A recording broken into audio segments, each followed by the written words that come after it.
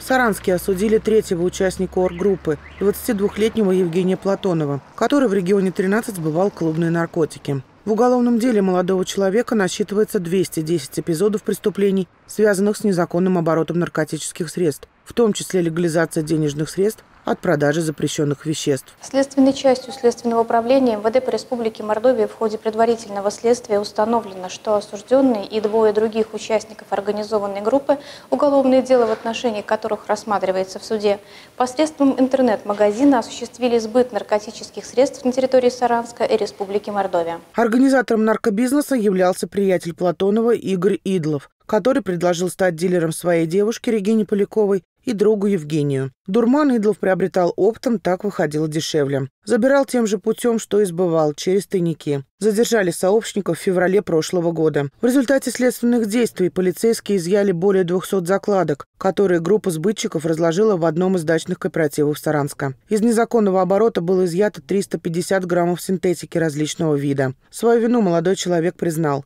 В отношении Платонова дело было выделено в отдельное производство, так как он заключил со следствием досудебное соглашение. Приговором суда ему назначено наказание в виде 7 лет лишения свободы с отбыванием в колонии строгого режима и штраф в размере 10 тысяч рублей. Екатерина Чермянина, программа «Происшествия».